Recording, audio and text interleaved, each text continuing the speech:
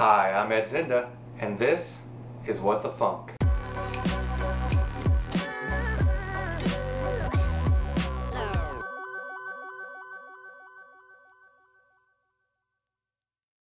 In this video, I'm going to show you how you can query and get information about blocks on Ethereum using Go.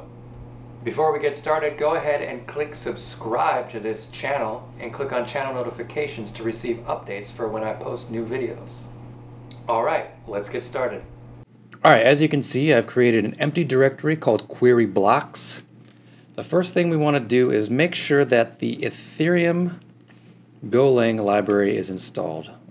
So in order to do that, we use the go get command and we basically download the Go Ethereum library from GitHub. I've already done this, so I'm not going to do it. I'm going to skip it. The next thing I want to do is open up my code editor, and we're going to create a new main.go file. We're going to declare our package as main,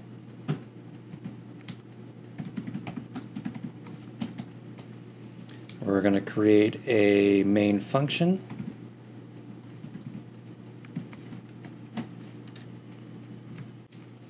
And the first thing I want to do is create a client that will actually talk to the Ethereum network.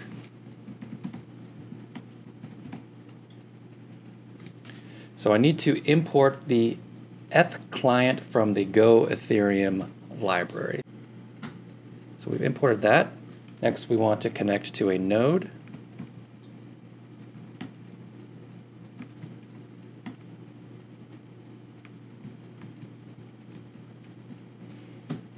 And we're just going to use the Infura mainnet node. If you didn't know, Infura.io provides free uh, access to individual nodes for the different Ethereum networks. So you can actually connect to the mainnet, uh, Ropsten, Rinkeby, all the different test networks, as well as uh, they also have an IPFS node, and I think they have a Swarm and Whisper node, but I'm not too sure. But check out Infura.io for details.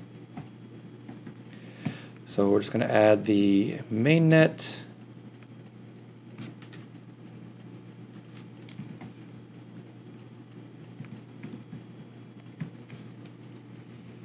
And then if there's an error, we're just going to log it and close out.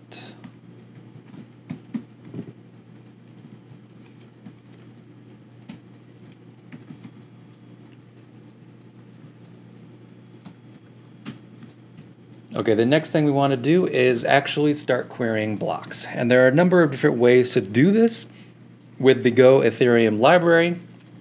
Uh, the first way we're going to do this is by grabbing a block header, getting the block number from that header, and then querying the information on that actual block. And the way we do this is using the client.header by number function.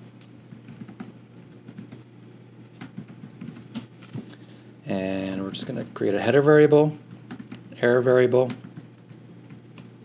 use client dot header by number. It takes a context.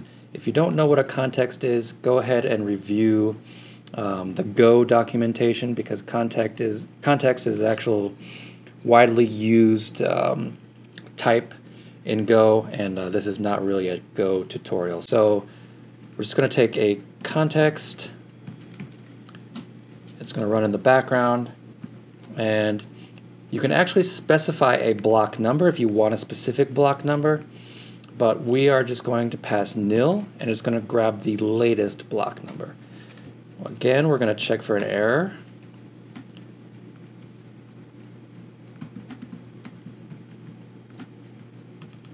Oh man, I can't type today.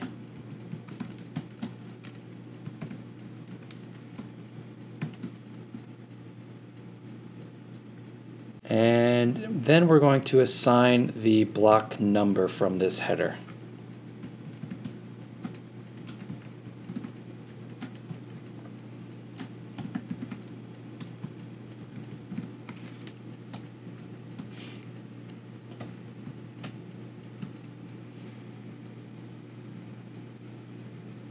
And from that block number, we can actually grab the block by its number so block error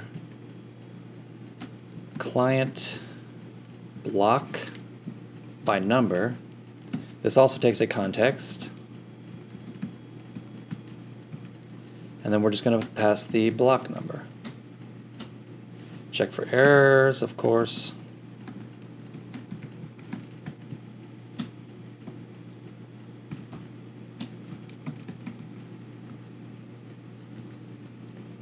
And now we have access to all sorts of different information about the block. So we can do things like print the block time, uh, difficulty, block hash, and even the number of transactions. So we're just going to do it like this. I'm just going to copy and paste for speed's sake. So if we run this, we get the block time, block difficulty, the block hash, and the number of transactions in that hash. We're just going to go ahead and copy this hash, go back to our code, get rid of all this, And now we're going to query a block by its hash. So to grab this next block, we're going to create another block variable, error variable, client block by hash. This takes a context as well. And then we're just going to pass the hash. We can't just pass it as a string, we actually have to pass it as a type hash. So we're going to use this common dot hex to hash. And then we can just paste the hash. Again check for errors.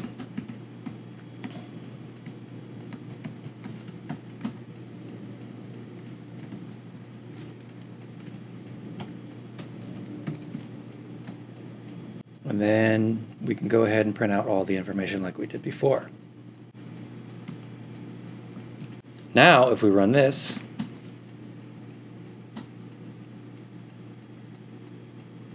we get all the same information as before. And that's it. That's the basics of querying blocks on Ethereum using Go. If you liked this video, go ahead and smash that like button and make sure to subscribe. Thanks for watching.